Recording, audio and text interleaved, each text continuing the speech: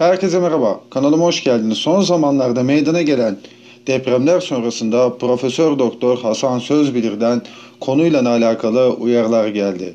Hasan Sözbilir en sonki depremi depremleri ele aldığımız zaman oluşan depremlerin bölgesi ciddi aktif faylar üzerinde meydana gelmiştir. Irganlı'daki fay Türkiye'yi gerçekten de kötü duruma sokacak bir faydır ve kabus niteliğinde bir faydır. Eğer kırılırsa 7,5-8 şiddetinde depremler yaratabilir dedi.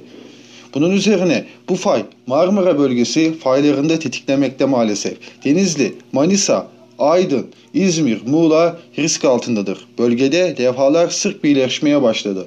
O yüzden aynı bölgede bir günde 50, 50'nin üzerinde artçılar meydana gelmekte. Çanakkale üzerinden başlayıp Akdeniz'e kadar uzanan bir fay var.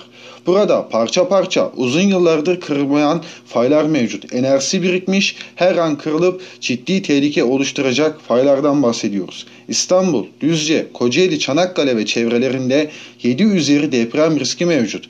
Marmara, Ege, Akdeniz fayları maalesef birbirini tetiklemekte. Uzak noktaları Antalya ilçeleri olsa dahi bu ilçelerde eğer ki olası bir depremde ciddi hasar bırakabilecek güçlükte faylar var.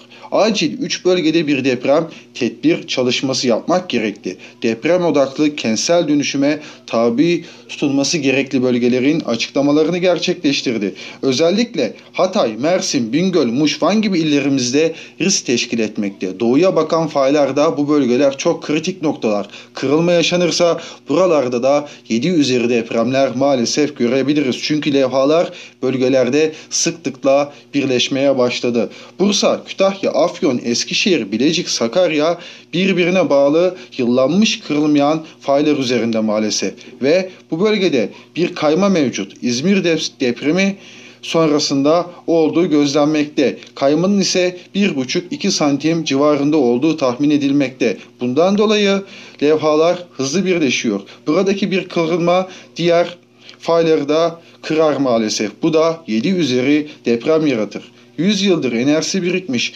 kırılmayan faylardan bahsediyoruz. Maalesef ülke genelinde bu tip faylar böyle ve bu tip kırılmayan yıllanmış faylar mevcut. Eğer bir tanesi kırılırsa bölge üzerinde diğerini tetiklerse korkunç manzarayla karşılaşabiliriz. Bundan dolayı kentsel dönüşüm odaklı tedbirlerin alınması gerektiğini düşünüyorum. Açıklamaları geldi Profesör Doktor Hasan Sözbilir'den. Konuyla alakalı yorumlar sizin. Sonraki videolarda görüşmek dileğiyle. Şimdilik hoşçakalın.